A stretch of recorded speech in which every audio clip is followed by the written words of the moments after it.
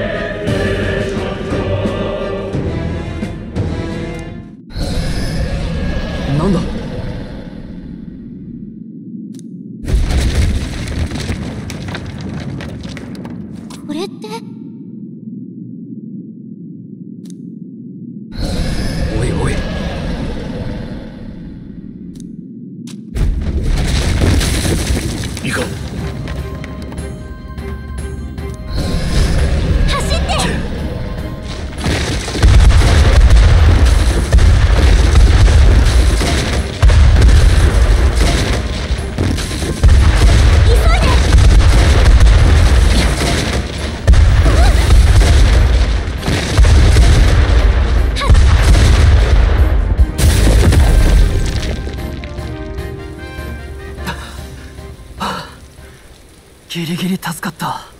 全員無事のようだな。心臓止まりそうだったけどね。寿命縮まったかも。雨か。ジレルが今日はここで野宿だな。ここを抜ければどこかで乗り合いの馬車も拾えるだろう。それでオートに向かおう。時間が惜しい。馬車を使って大丈夫か？今は国葬のおかげで遠方からの旅人が多い。むしろ目立たないだろ馬車か。また襲われないといいけど。う雨で体が冷えるとまずい。一旦水が来ないところで休むぞ。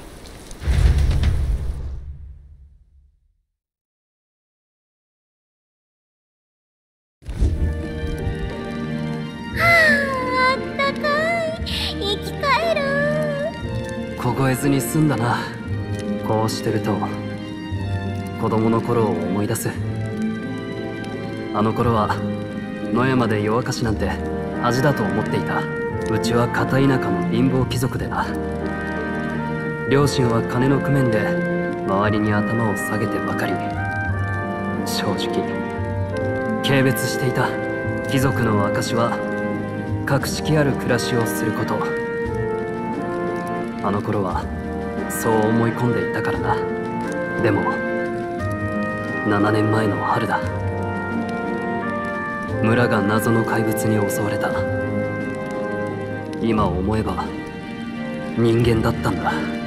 燃え盛る村で。俺は使用人と一緒に逃がされて避難した先で両親が来るのを待っていた。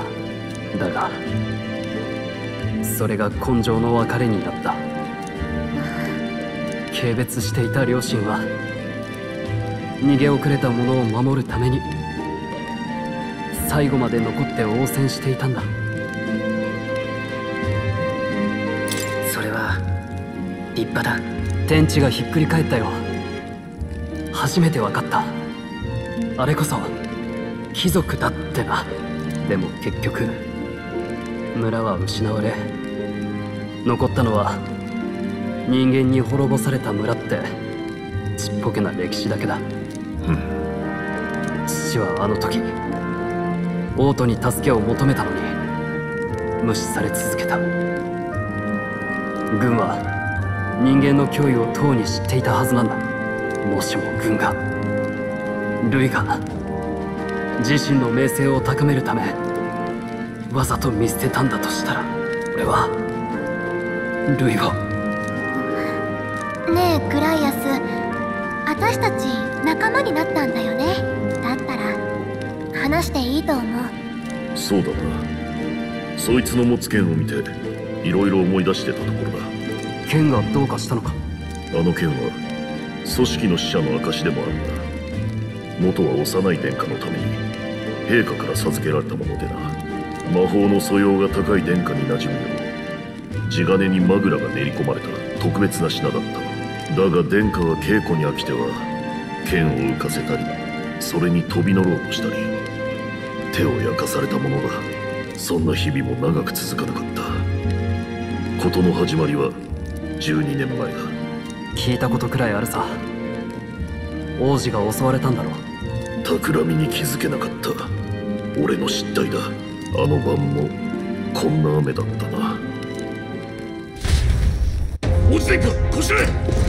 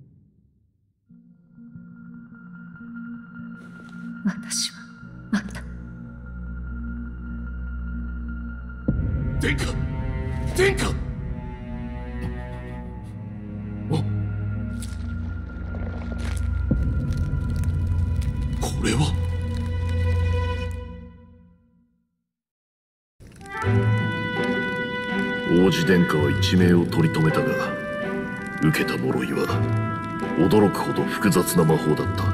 王都中の魔法医が集められたが誰一人手に負えず殿下の体は日に日に弱っていった。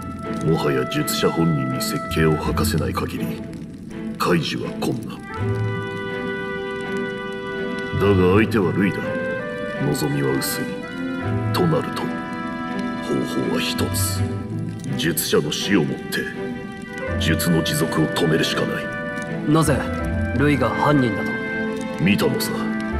この駅士の一人がな。当時ルイは今のお前たちよりもっと若くて大人の体格じゃなかった。見間違うはずがない。それが今では救世主扱い。王家二代を手にかけた国賊がだ。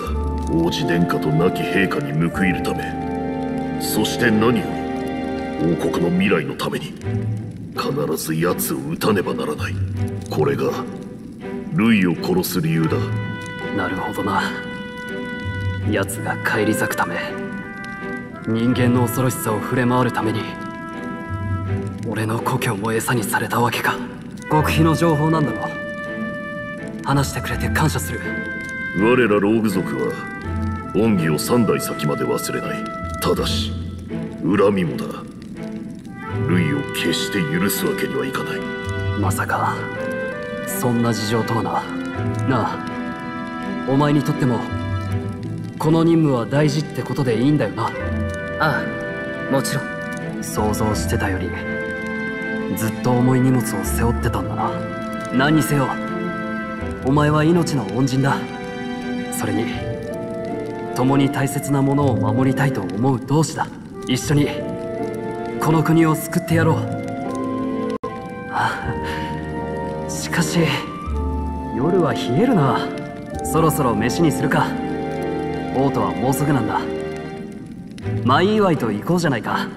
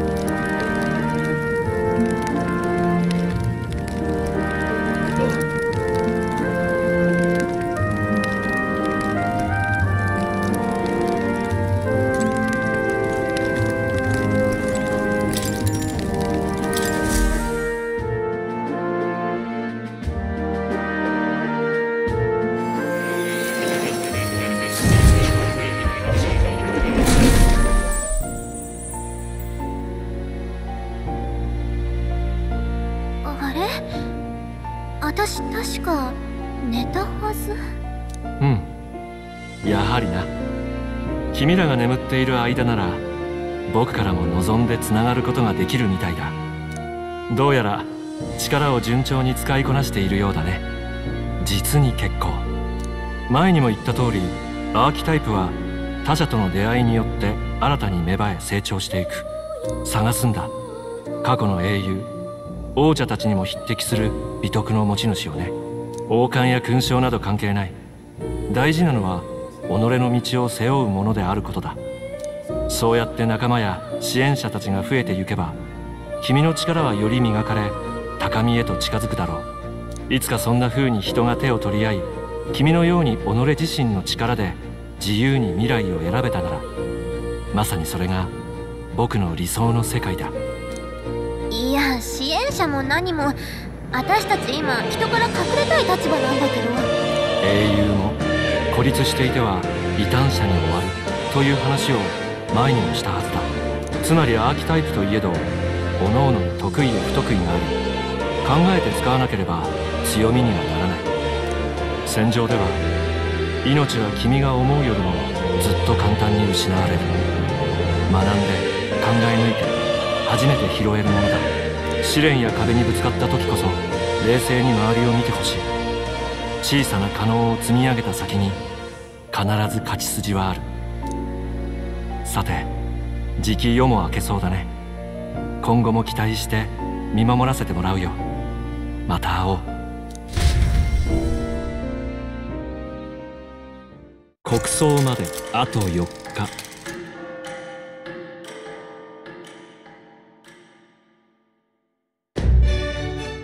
よし。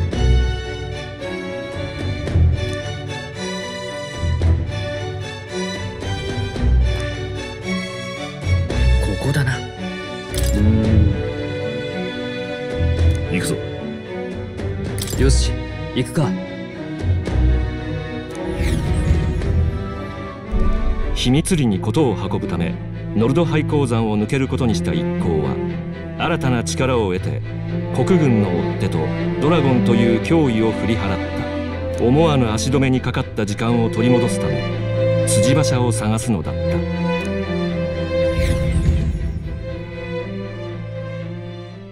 国葬まであと2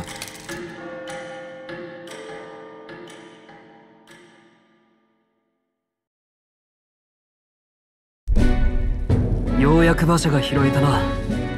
これで。国葬には無事間に合いそうだ。前に馬車乗ってた時は賊に襲われたのよ。今考えるとあれルイの信奉者ね。思い出したくもないけど。今のお前たちなら賊ごときに遅れは取らんだろう。心配するな。こうしてると出発した日のことを思い出すな。あの時はまさか俺とお前の他に誰も生きて帰れないなんて想像もしてなかった。先のことなんてわからないもんだな。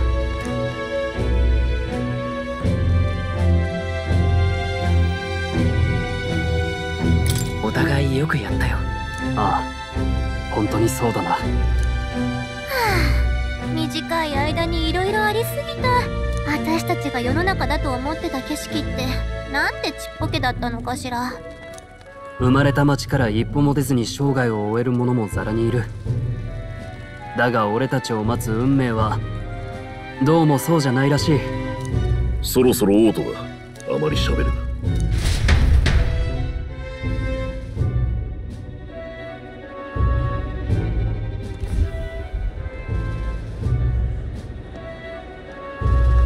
あなたはもしや戻られたのですね遠路ご苦労様でした。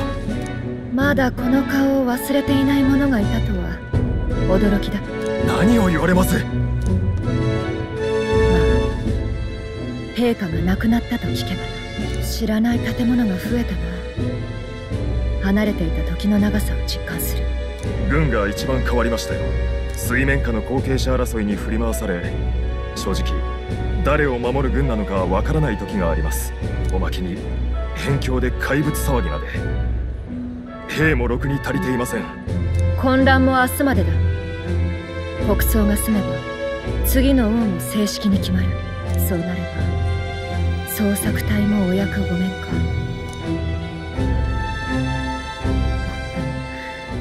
そんなものがあったことなどほとんど誰も覚えていないだろう。国葬まであと1日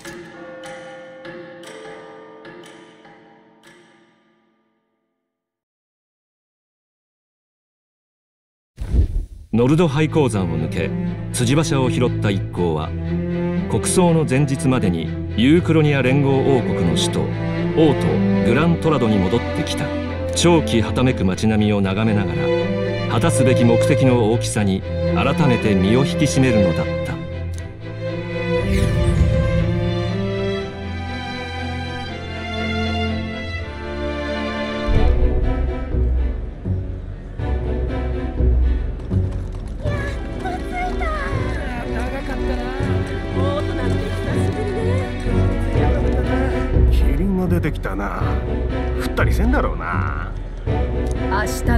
日の国葬大丈夫なの？兵隊さんが足りないと聞いたわ。心配いらんだろう。お偉方は皆ご自分の護衛を連れてる。そうそう荒事など起きんよ。人目を引くなよ。日陰通りにミツバチのささやき亭って宿がある。詳しい話はついてからだ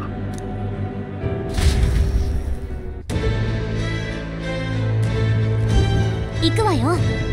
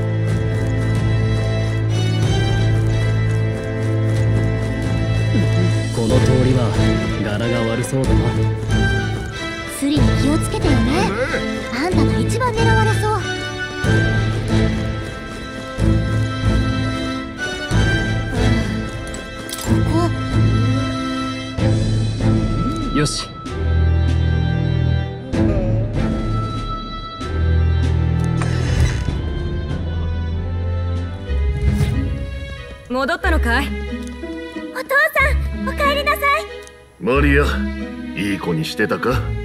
こいつらは今度入った新兵の小僧たちだ。ずいぶん若いね。よろしく。ここで宿屋をやってるファビアンヌよ。マリアもちゃんと挨拶して。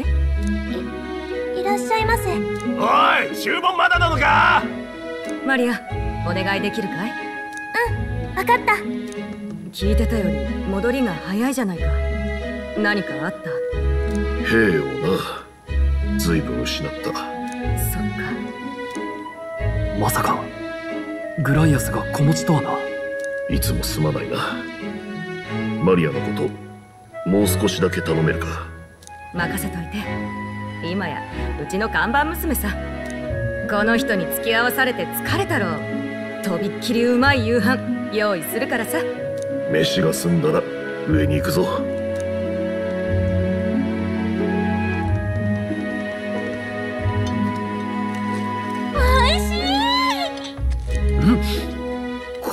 腹。舌舌が。落ち着いて食え。うまかったな。特にあの肉。焼けるような辛さが食べてるうちに癖になって。微動鶏の紅香草焼き。あいつの故郷の名物料理だ。ここは組織の息がかかった宿でな。あいつには世話になりっぱなしだ手駒が少ないとは聞いたが本当に俺たちだけなのか？別動してる者もいると聞いてはいる。だが不在の間訪ねてきた同志はいなかったそうだ。匿名は俺たちでやるしかない。ルイの暗殺か。大仕事だぞ。グライアス作戦はあるの？聞かせて。葬儀の最中に殺す？白昼だぞ。無理に決まってる。そこを逃せば狙える機会は他にない。大丈夫だ。ルイに近づくのは俺だけだ。お前たちは別の場所からルイの気を引いてくれ。その隙に俺が背後に回る。霊の力は目立ちすぎる。当てにするなよ。怪物退治と人殺しは別物だ。獲物はこいつを使う。正気か？相手は凄腕の魔導士なんだぞ。俺たちも何か。ダメだ。邪魔になる。組みついて直に首をかっ切る。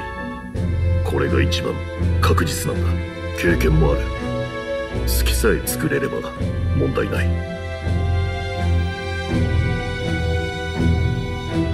分かった。それしかないってことか。よかったらマリアに声をかけてやってくれ一人で寂しがってるはずだ。一緒に寝てやらないのか。今夜は準備がある。部屋には近づけられない。完全に父親の顔だな。悪い。俺は早めに休む。疲れを取っておかなきゃ。足手まといになっちまう。もうみんな勝手ね。けどマリアを放っておくのもかわいそうだし一応話しかけに行ってみる？うん